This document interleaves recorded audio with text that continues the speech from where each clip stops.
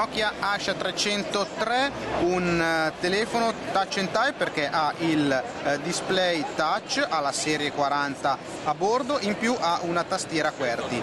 Ehm, comodo da tenere in mano, dimensioni contenute, più da 1 GHz, 3G e WiFi eh, compresi. Vi faccio vedere come sono finiti i vari lati. Fotocamera da 3.2 megapixel, qua in fondo la griglia per il voce, cover posteriore metallica, finiture interessanti per un device che eh, sarà proposto sul mercato intorno ai 130 euro e disponibile sia Angry Birds che eh, sarà quindi mh, implementato sulla serie 40 e disponibili anche cover in silicone di diversi colori.